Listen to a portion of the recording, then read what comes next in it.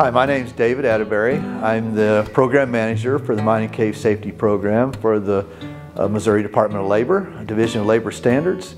So the Missouri Mining Cave Safety Program is a fantastic program. Uh, as far as I know, it's one of the few, if not the only, state program that is focused on looking at the show caves within the state.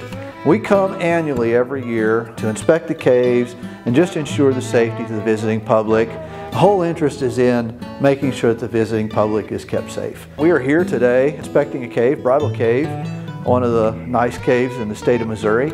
We're going to be looking first of all for loose material. See if there's anything overhead or at a high spot that would fall down, hit somebody. If we find those, we'll pull those down or ask the cave owners to pull those down and make those secure. We're going to look at the opening to the cave in particular, where the freeze thaw can happen.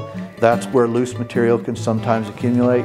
We're going to look at the walkways, make sure that the walkways are good, the railings are good. We're going to talk about their safety programs. We're going to look at how they would get someone out of the cave if there was an emergency. We're going to look at the electrical as we go through the cave today and make sure that that's installed properly, that there aren't any points of danger uh, where the public could come in contact with energized electrical components, things like that.